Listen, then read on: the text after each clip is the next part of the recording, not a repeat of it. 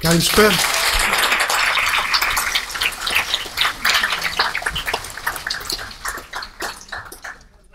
Καλησπέρα για από μένα. Φίλες και φίλοι σήμερα σας παραδίδω και επισήμως την Άννα.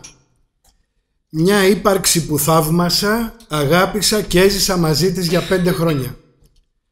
Σε εσάς που μου τη γνωρίσατε και με στηρίξατε σε αυτή τη συμβίωση χωρίς να το ξέρετε. Μέσα από τις συζητήσεις, τις αναζητήσεις, τις μελέτες, τις έρευνες, τις επίπονες αντιφάσεις αλλά και τις λυτρωτικές καταλήξεις πολλαπλών διαδρομών. Οι λόγοι που όθησαν εμένα, έναν άνθρωπο μικρασιατικής καταγωγής, από τα Λάτσατα και τα Ιβαλή, να γράψει για τους Εβραίους της Αθήνας ήταν συναισθηματική και ιδεολογική.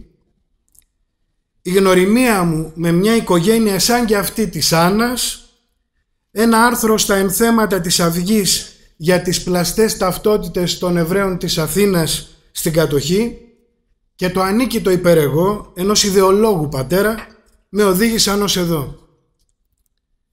Φίλοι αγαπημένοι μου είπαν πως το βιβλίο θα μπορούσε να είναι και εφηβικό.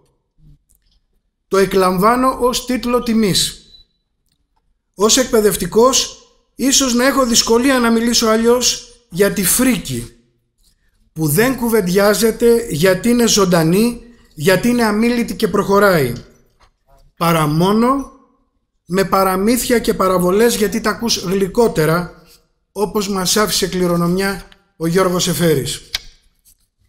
Ας το επαναλάβουμε.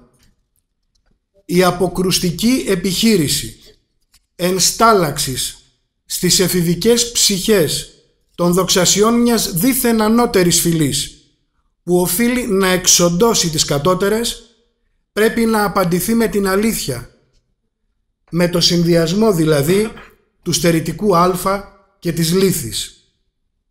Και αυτήν μπορούμε να θωρακίσουμε μόνο με τη γενική παιδεία, με βασικό της άξονα την καλλιτεχνική παιδεία που εκ των πραγμάτων εθίζει τους εφήβους μέσω της απίστευτης ποικιλομορφίας της στην αποδοχή του διαφορετικού και στην καλλιέργεια της καλεσθησίας. Στο πρόσωπο της Άννας δεν επιχειρώ να τιμήσω μόνο την Εβραία που αγωνίζεται ενάντια στον ναζισμό, στο ρατσισμό, τον φανατισμό και τη μυσαλλοδοξία, αλλά και κάθε γυναίκα που παλεύει για τη δική της αξιοπρέπεια και την αξιοπρέπεια της οικογένειάς της μέσα σε μια Ευρώπη που ξαναθυμάται τον Μεσαίωνα. Άλλωστε, η παρακαταθήκη του Σάρτρ έχει μείνει βαθιά χαραγμένη στο νου μου και με καθοδηγεί. Ο Εβραίος δεν είναι παρά ένα πρόσχημα. Αλλού θα χρησιμοποιήσουν τον Νέγρο, αλλού τον Κινέζο. Που για μένα σημαίνει πως ο αντισημιτισμός δεν είναι πρόβλημα μόνο των Εβραίων. Είναι και δικό μας. Ευχαριστώ θερμά τις πανεπιστημιακές δασκάλες Μαρία Καραμεσίνη και Ευγένεια Καμτσίδη.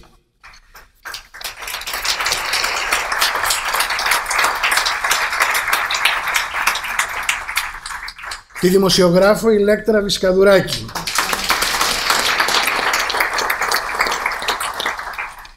Την ηθοποιό Όλγα Αθανίτη.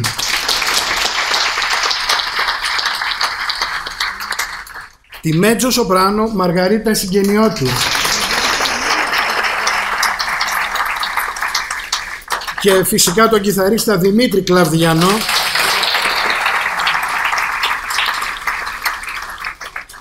Που με τις γνώσεις, τις ευαισθησίες και το ταλέντο τους έκαναν πραγματικότητα αυτή την παρουσίαση. Ευχαριστώ τον Άγγελο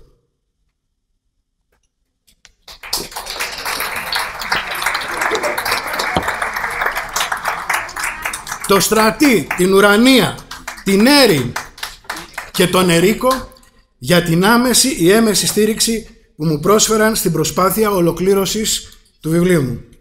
Ευχαριστώ τις εκδόσεις Κέντρος και τα στελέχη του Θανάση Μίνα, Αριάδνη Μοσχονά, την επιμελήτρια κυρία Μαρία Σπανάκη, την Ξένια Τρίφωνος για το υπέροχο εξώφυλλο και την υπεύθυνη δημοσίων σχέσεων Μαρία Ζαμπάρα, για την πολλαπλή στηρίξη από το ξεκίνημα της έκδοσης του βιβλίου μου μέχρι σήμερα.